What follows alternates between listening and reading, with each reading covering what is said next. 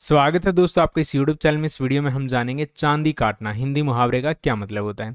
इसका अर्थ होता है बहुत ज़्यादा पैसा कमाना, यानी जब कोई व्यक्ति बहुत ज़्यादा धन कमाता है, पैसा कमाता है तो इसका मतलब वो चांदी काट रहा है। वाक्य में इस मुहावरे का प्रयोग करते हैं, त्यौहार के समय मिठाई की दुकान ने चांदी काट ली। इस साल कृषि व्यापारियों ने खूब चांदी काटी, यानी खूब पैसा कमाया। वीडियो पसंद से तो लाइक करें शेयर करें चैनल को सब्सक्राइब ज़रूर करें। Thanks for watching